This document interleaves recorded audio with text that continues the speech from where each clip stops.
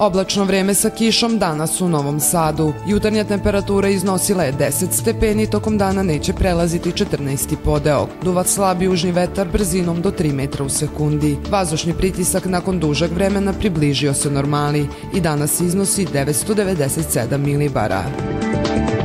Od sutra osetni pad dnevnih i jutarnjih temperatura uz oblačno vreme sa kišom. Jutro hladnije sa temperaturom do 5 stepeni, dok će tokom dana biti za svega stepen više 6. Umeren vetar južnog pravca duvaće brzinom do 5 metara u sekundi. Vazdušni pritisak preći će granice normale i iznosit će 1016 milibara.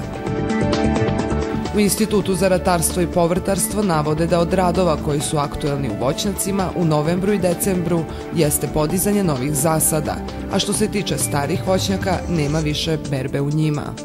Što se tiče starih voćnjaka, e, u ovom periodu sada e, nemamo više berbe, gotovo sve površine svih voćnih vrsta bi trebalo da su, da su, da su obrane.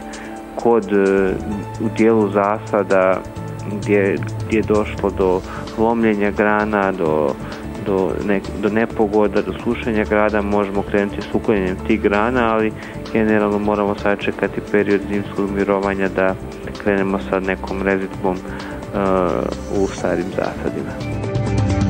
U narednih pet dana u našem gradu oblačno vreme sa dosta padavina.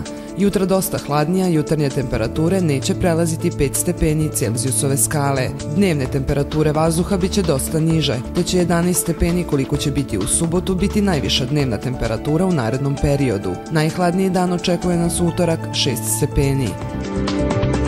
Kod većine hronično obolelih tegobe mogu biti u pojačanju usled nepovoljnog uticaja biometeorološke situacije. Poseban opre se savjetuje cerebrovaskularnim bolesnicima i astmatičarima. Od meteoropatskih reakcija mogući su reumatski bolovi i neraspoloženje.